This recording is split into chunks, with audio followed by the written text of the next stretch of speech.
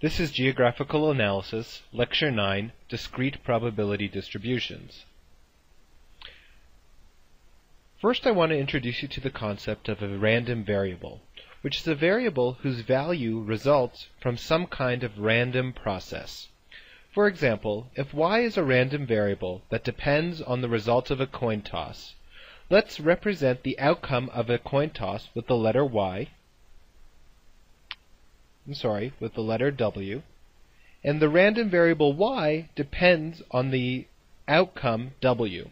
And we'll let y equal 1 when W is a heads, and we'll let y equal 0 when W is tails. In other words, we flip a coin, W is the result of the coin toss, and y changes between 1 or 0 depending on if the coin toss was a heads or a tails. If that's the case, then the probability that y will equal 1 is the same thing as saying it's the probability that the coin toss will be a head, and the probability is 1 half. Similarly, the probability that y equals 0 is going to be 1 half as well. So, for a random variable that depends on a random process, we can attribute different probabilities to different values of the random variable. Let x be a random variable that depends on the result of a die roll.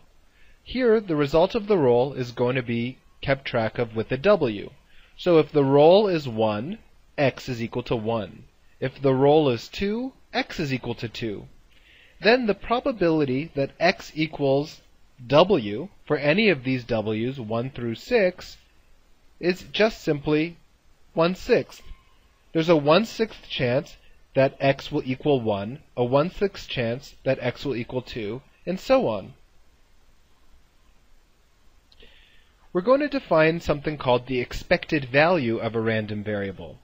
The expected value is the weighted average of all possible values that a random variable can take on.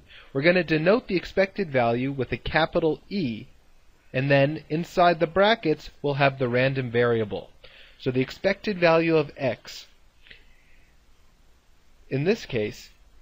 Well, in the general case, the expected value is the sum of all of uh, the sum over all possible outcomes k. So k is a possible value of the variable x. And we're going to multiply k by the probability that the random variable equals k. And for each of these k outcomes, we're going to calculate k times the probability that x equals k, and we're going to add them all up in the summation from k equals 1, the first possible outcome, to capital K, the last possible outcome. It's going to be convenient to define this notation. The probability of k is the same thing as the probability that the random variable equals k. So the expected value is the sum over all possible k's of k times pk. Now let's assume that the random variable x uh, denotes the outcome of a die roll. In order to calculate the expected value of x, what we are going to do is add up k times pk for k equals 1 to 6. So for k equals 1, the first element in this summand, we're going to have k1, right, times the probability that x will equal 1. Well, there's a 1 6th chance that x will equal 1. Next, we have k equals 2 times the probability that x equals 2. Well, there's a 1 6 chance of that. There's a 1 6 chance of each of these different k probabilities. In the end, the expected value is 3.5.